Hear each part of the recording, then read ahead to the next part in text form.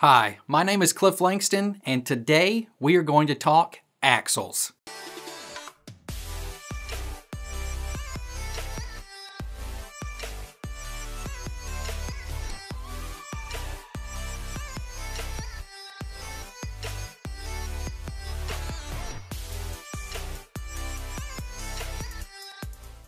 An essential factor to consider when building your food truck or concession trailer is the axles.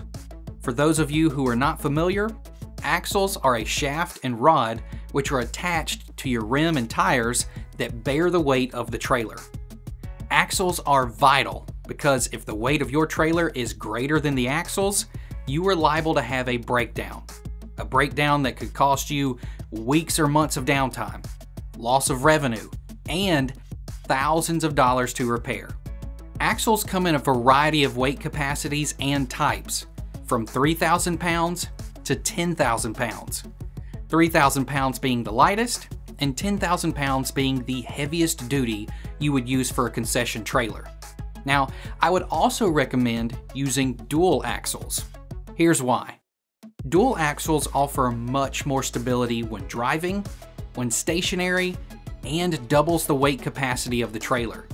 What does this mean for you? For example, with dual 3,000 pound axles, you will be able to carry 6,000 pounds of weight. That is, the trailer and equipment combined. Lug patterns for axles also vary.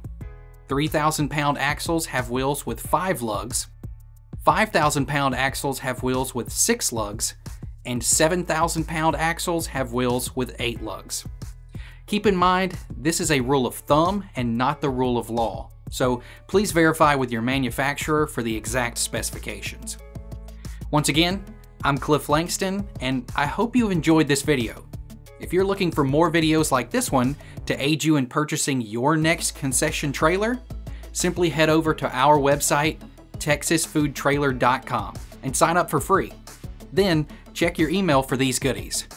Your free digital booklet titled 10 Critical Steps to Purchasing Your First Food Truck, 5 Best Places to Park to Maximize Profits, and 6 Foods that will take you to six figures, a guide to planning your food truck menu. Don't forget to like, share, and subscribe.